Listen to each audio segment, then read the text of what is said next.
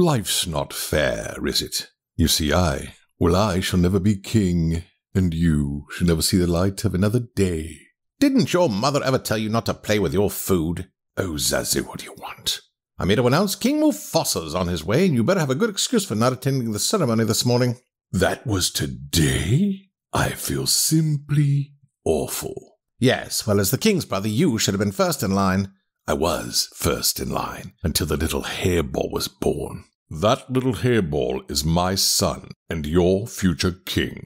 Oh, I shall practice my curtsy.